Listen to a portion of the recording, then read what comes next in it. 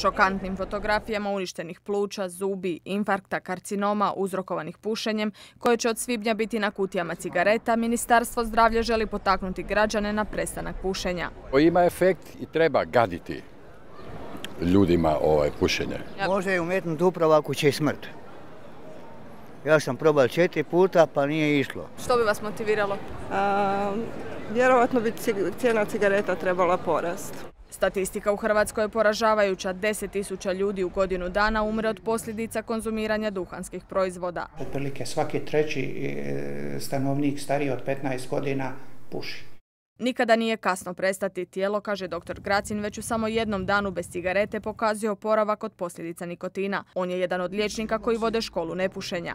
I namijenjena je pušačima koji su motivirani koji žele prestati. Ali to ne mogu sami, već im je potrebna stručna, zapravo potrebna je stručna pomoć da oni to i ostvare. Liječenje bolesti uzrokovanih pušenjem državu stoji oko 4 milijarde kuna. Bivši ministar zdravstva zato predlaže osnivanje zdravog fonda koji bi se punio novcem od svake prodane kutije cigareta.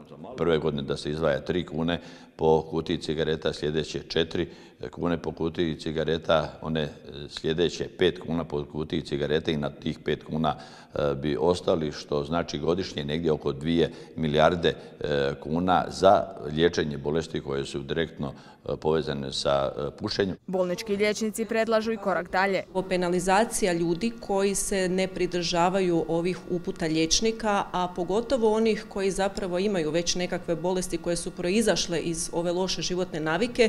Ministarstvo financija nije se izjasnilo na naš upit o tome hoće li krenuti u smjeru ovih prijedloga. Najveći hrvatski proizvođač duhanskih proizvoda poručuje da će zakon poštovati iako to znači prilagodbu mehanizacije i dodatni trošak, a Ministarstvo zdravlja najavljuje da će s izmjenama zakona biti i strože kontrole.